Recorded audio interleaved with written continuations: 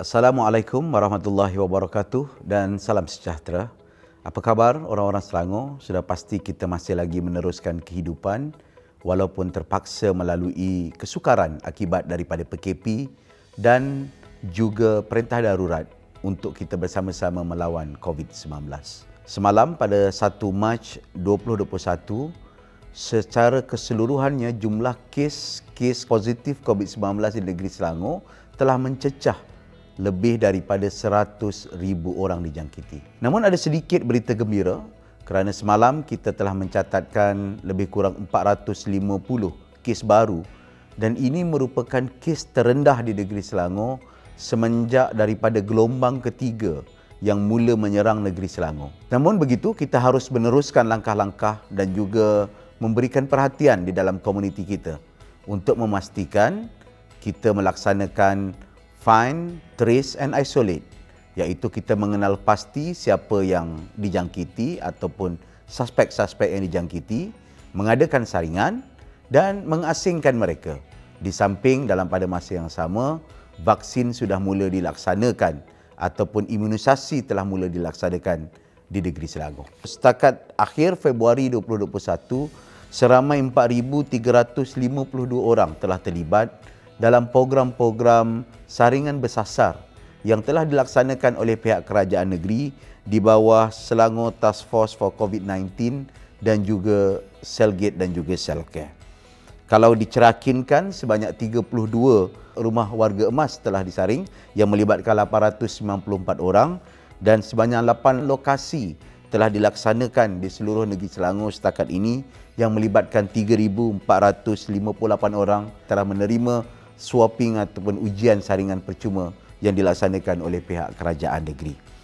Untuk hari minggu ini iaitu pada 6 hari bulan Mac dan 7 hari bulan Mac, kerajaan negeri akan terus melaksanakan beberapa siri saringan yang melibatkan Dewan Resak MBSA dan juga di Pusat Himat Ahli Majlis Subang Perdana Seri Kembangan yang akan dilaksanakan pada 6 hari bulan Mac dan pada 7 hari bulan Mac saringan percuma akan dilaksanakan di Dewan Serbaguna Seksyen 2 Kota Damansara Petaling Jaya dan juga dataran automobil Seksyen 15 yang saya percaya akan turut membantu kita mengenal pasti dan juga mengasingkan mereka-mereka yang positif.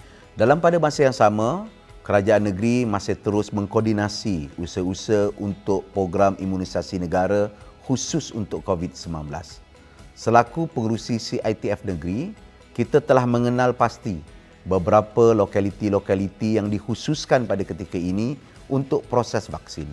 Ada 8 hospital, hospital yang ada di negeri Selangor dan 30 klinik-klinik kesihatan yang telah beroperasi untuk melaksanakan proses imunisasi dan juga vaksin di kalangan penerima-penerima fasa pertama. Siapakah penerima-penerima fasa pertama? Kita telah menggariskan seramai 68,000 677 orang di negeri Selangor yang akan menerima vaksin ini. Dan kalau kita cerakinkan, sebanyak 37,151 orang adalah di kalangan petugas-petugas kesihatan Kementerian Kesihatan. Sama ada yang tinggal dan bekerja di hospital, pusat kesihatan daerah ataupun klinik-klinik komuniti dan klinik-klinik kesihatan yang ada di negeri Selangor.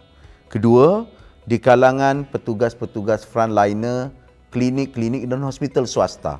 Jumlahnya adalah seramai 14,357 orang dan kita mempunyai 17,169 orang apa yang kita kenali sebagai frontliner non-KKM dan juga bukan petugas kesihatan.